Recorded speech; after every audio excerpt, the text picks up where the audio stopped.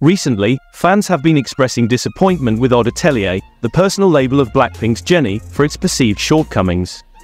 On April 1st, a South Korean news outlet, News One, reported exclusively that Blackpink's Jennie would be releasing a solo album in June. However, just seven hours later, a representative from Odd Atelier denied NewsOne's report, stating that nothing has been confirmed yet. The agency mentioned that Jennie is working on new songs but clarified that neither the release date nor the format, album or EP, has been finalized. On April 4th, South Korean media reported that Jennie would collaborate with Zico and release a song in April.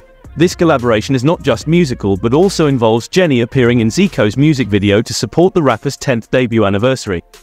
The news also did not receive a definite response. This news has left some of Jennie's fans even Jennie China Bar feeling let down, especially since they were hoping for more solo activities from her after she left YG Entertainment. During her time with YG, Jennie had limited solo schedules aside from being a brand ambassador and working with fashion brands. Fans had high expectations that her new company would provide more opportunities for her to shine and break free from the constraints of her previous management. However, some fans are now comparing Odd Atelier unfavorably to YG. They point out that a recent variety show featuring Jennie, called Apartment 404, failed to capture viewers, despite Jennie's participation.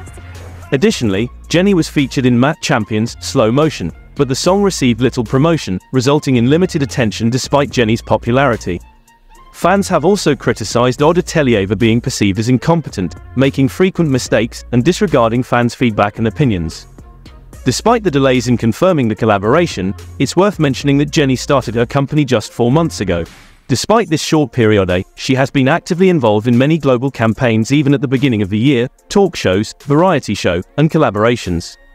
Responding to fans' worries, a spokesperson from Odd Atelier previously said that Jennie is focusing on finishing her solo album and won't be doing more TV shows after Apartment 404. Jennie herself has promised fans that she will release a solo album in 2024. Considering all this, fans might want to be patient and wait for an official announcement about Jennie's upcoming solo projects instead of jumping to conclusions about her label's performance. What do you think on this?